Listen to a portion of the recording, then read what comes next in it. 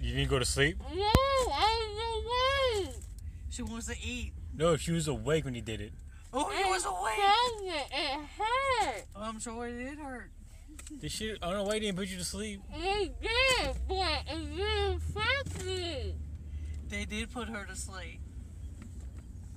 But she still felt it. I felt it.